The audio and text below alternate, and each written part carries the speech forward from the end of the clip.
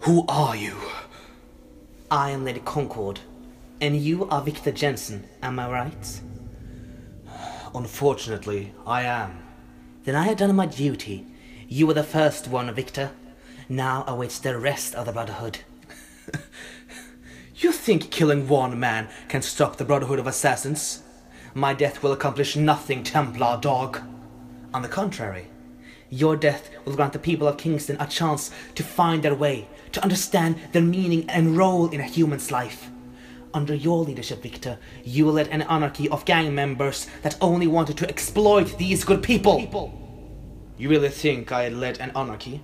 Or are you told to believe these words?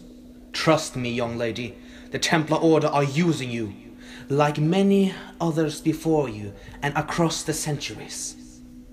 You're just another puppet. The Templars don't really care about you. They only care about control, domination, and manipulation. And when they have reached their goal, you will be nothing but a forgot memory. That's not true. The Order have been the masters of peace for ages. Without them, the world as we know it never would have existed.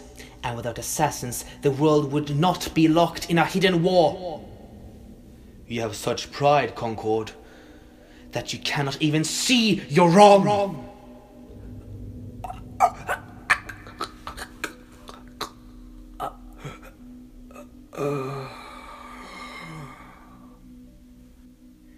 I believe in a Templar cause, Victor.